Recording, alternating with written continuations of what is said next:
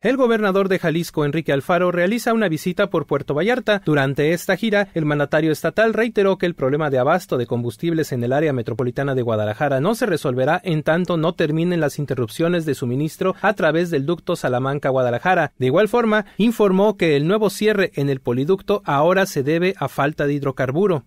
El compromiso del gobierno federal es que quedaría resuelto esta semana.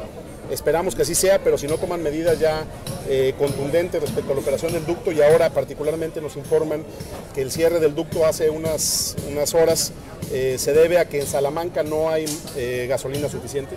O sea, ya ahora no es un problema de operación propiamente, sino que ya se les acabó el material en Salamanca.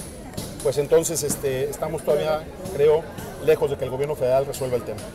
Esta primera visita del mandatario estatal se ha centrado en los temas de infraestructura educativa, salud, seguridad pública y transporte. Dijo que, a diferencia de gobiernos anteriores, más que inaugurar obras, está en Puerto Vallarta a ver los problemas existentes para saber lo que se tiene que hacer. Vengo a una primera gira de trabajo ya formalmente como gobernador a ver temas de salud, de educación, eh, de seguridad eh, y de transporte. Son los temas que tenemos agendados. Eh, hoy arrancamos ya el programa de renovación de la infraestructura en materia educativa en esta escuela eh, que tiene una historia muy larga en Puerto Vallarta de casi 50 años, la López Cotilla. Eh, voy en este momento en una visita no anunciada al hospital regional. Quiero ver cuál es la realidad de su hospital y qué las, cuáles son las obras que vamos a hacer para su renovación integral y su puesta a punto para brindar servicios de calidad a la población. En, eh, en ese materia está pendiente el laboratorio Mendiola Horta, que tiene desde el 2015 y no lo termina. Es, es uno de los temas que traigo. De ahí del Hospital Regional tenemos la visita al laboratorio para terminarlo sin falta este año. Eh, y posteriormente estaremos en la entrega de los certificados eh, de acreditación eh, en el trabajo de capacitación que hicimos con los transportistas de, este, de esta ciudad.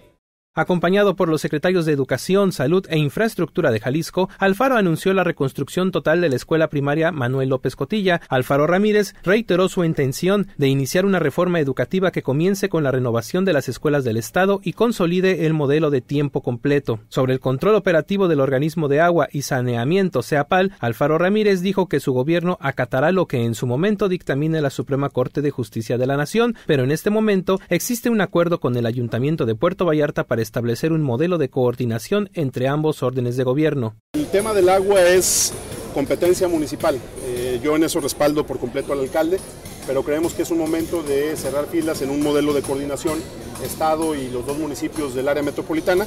Por lo tanto, estamos en espera de la resolución de la Corte ya definitiva, pero independientemente de esa resolución, el modelo seguirá adelante. Yo tengo el acuerdo con el alcalde que lo vamos a platicar con cuidado, que vamos a, como ya se hizo en esta primera etapa, a definir perfil, un perfil técnico al frente del CIAPAL, no perfiles políticos, que vamos a hacer un modelo de coordinación con Bahía de Banderas, entonces no es tema ya de conflicto. Estamos esperando la resolución, pero el proyecto de CIAPAL en el ámbito municipal está caminando ya, está funcionando y ahora vamos por el modelo metropolitano.